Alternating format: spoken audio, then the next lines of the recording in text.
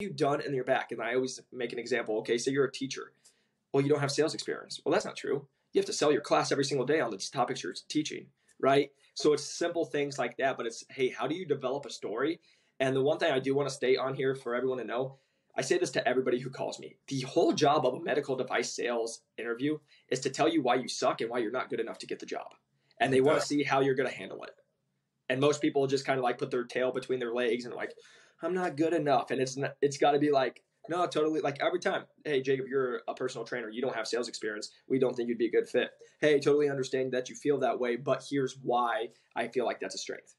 No, definitely. I it, it's it's one of those things where whenever you're having that conversation and they're using those negatives towards you, just like you said, they're testing to see how you're going to respond in that situation, and so many people fail. Like yep. so many people, they they think that this is like a regular conversation that you're having. Yes, it's an interview, but in their mind, they're like they're taking what that person's telling them to heart. Like dude, you you really blew this interview. Like, what do you have to say about that? And then it's either just like you said, you tuck tail and you're like, I'm so sorry. Like, I don't know what's wrong with me, or you fucking fight and you yeah. see how you can take it to the next level because that's what they want to see. They want to see if you can actually like get over that adversity of them thinking that you're not good enough.